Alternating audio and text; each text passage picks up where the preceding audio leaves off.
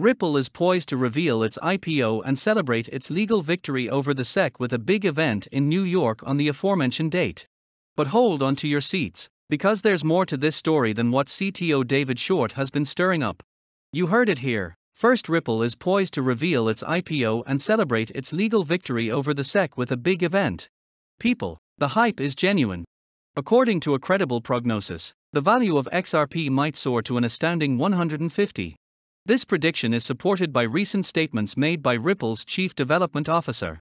Mark the 29th of September 2023 on your calendars because that's when Ripple plans to announce their eagerly anticipated IPO after settling with the SEC.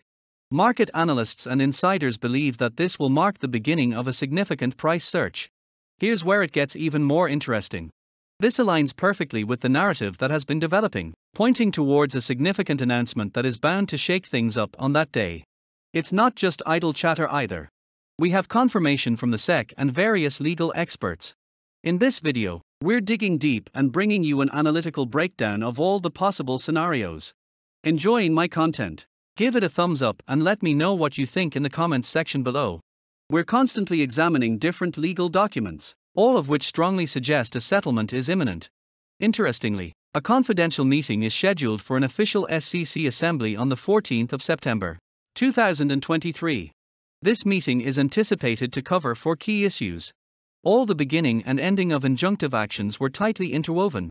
The creation and resolution of administrative proceedings for resolving legal claims and other issues important to the inspection and enforcement procedures. The strangest feature of this conference is its secrecy, which raises the possibility that the SEC wants to keep the public in the dark about the conversations. A step that strongly suggests could very likely be the main topic of discussion during the settlement negotiations. I must admit that I have high hopes. Even Johnny Deaton, a well known attorney heavily involved in the Ripple SEC case who is presently defending over 75,000 XRP investors, has expressed the likelihood that the SEC will settle with Ripple.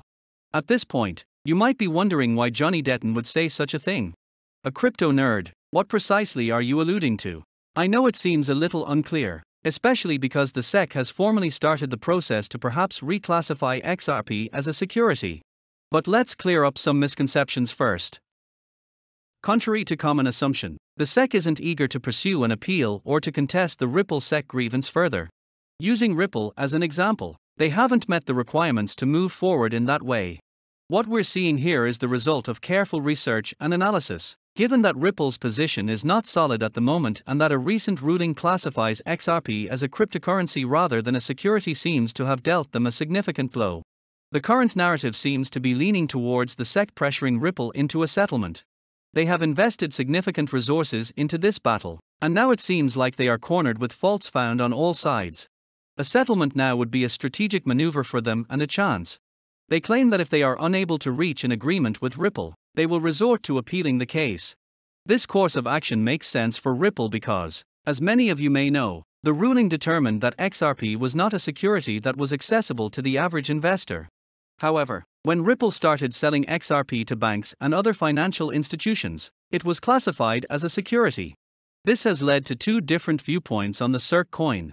The anticipation is growing for an impending settlement, possibly in the days before the 29th of September. Circ is not a security, even in the eyes of institutional investors. However, this could mean that Ripple might have to make some concessions potentially. Ripple sees a clear pathway here where a favorable settlement could materialize if the SEC grants clarity by designating XRP as a non security for both retail and institutional investors.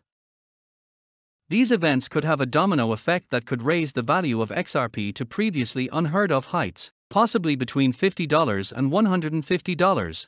I've decided to wager everything on this, vowing 1.50 per XRP. Target by September. If not, I'll permanently close my account. Yes, you heard correctly, and feel free to take a screenshot of this time.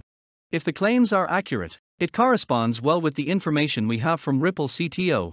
Taking into account the hints we have of the upcoming IPO, reaching a value within this range appears not only likely but also logically sound. As another twist in this ongoing tale occurs, I must admit that I'm buzzing with enthusiasm because my belief in XRP is stronger than ever. You can hear it in my tone. Sarah Netburn, judge of a key milestone in this case, occurred on the 18th of July, 2023, when she decided that XRP by its nature is not a security since the landmark ruling, which previously emphasized the need for Ripple and the SEC to decide on a settlement conference date. Ripple has successfully positioned itself in a favorable position, showing a remarkable trend of reallocating 80% of the monthly escrow release while only holding 20% of the share.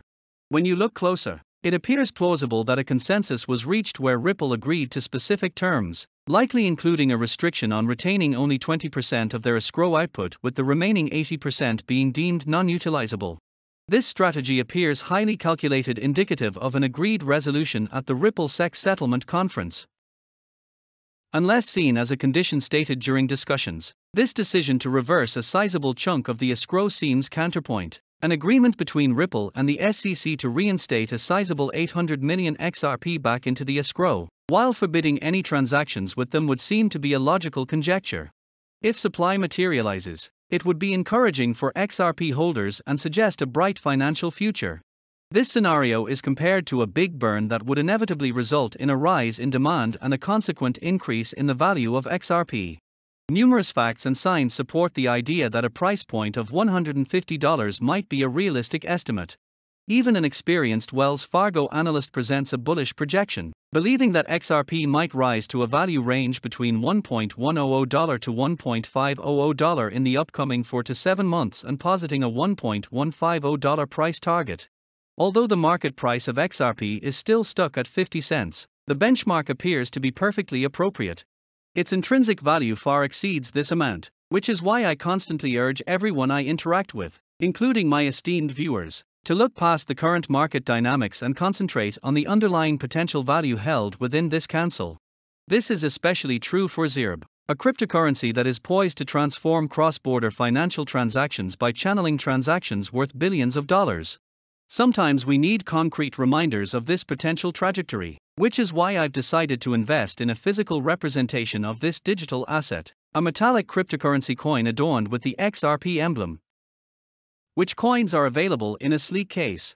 This development is bound to spur an upward trend in demand, coupled with a decreasing supply, potentially catapulting the price to staggering heights, spanning 3, 4, or even 5 digits per unit. Other than XRP, which has a wide range of other notable cryptocurrencies. For me, these coins act as daily reminders, adorning my desk and riding in the backseat of my car with me while silently promising the possible rise in XRP worth.